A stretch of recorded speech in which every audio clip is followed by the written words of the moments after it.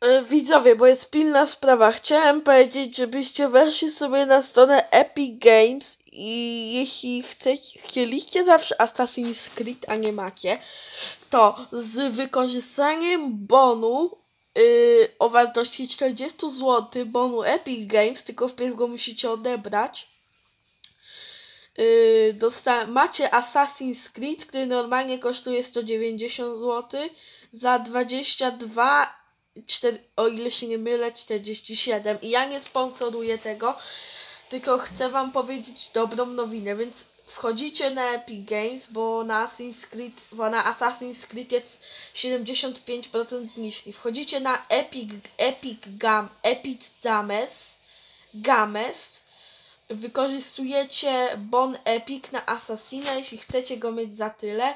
Czyli zawsze możecie na coś innego, ale ja wam mówię, na, że warto, że Assassin jest w sumie teraz za 20 parę złotych.